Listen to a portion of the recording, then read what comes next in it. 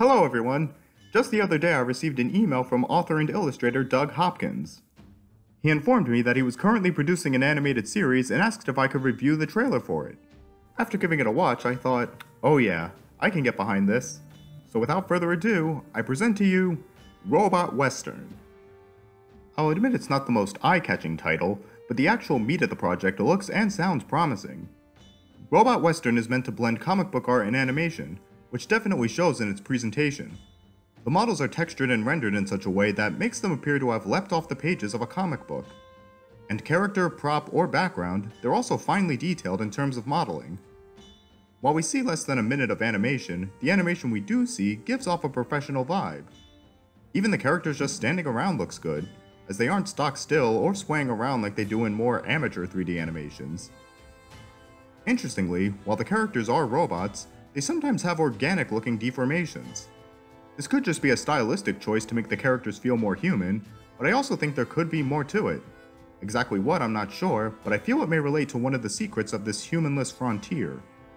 After the scene on the train, the rest of the trailer is mainly made up of still art of different scenes, perhaps stuff they haven't had the chance to animate yet.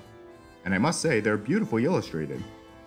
They show off different moods, action, and do a fine job at creating wonder. This shot here is one of my favorites. It makes me think, who is this? Who is he talking to?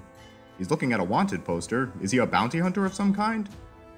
And then there's this shot of a standoff in the middle of a town as its citizens run for cover. Who's fighting? Is our main character among these two? What led to this standoff in the first place? Another point of interest I find from these shots is the variety of forms these robots have, as some look human, others don't look human at all, and some are even in the shape of animals.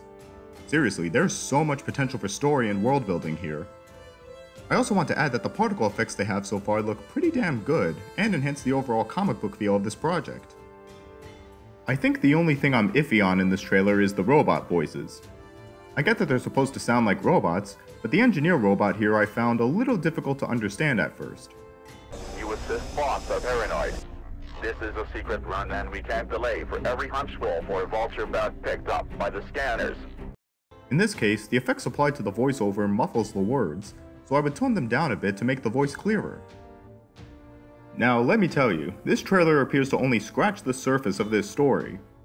According to the Robot Western website, the main story follows a young robot boy named Rusty who journeys to the big city of Dodge Central after his father was injured and unable to provide for the family.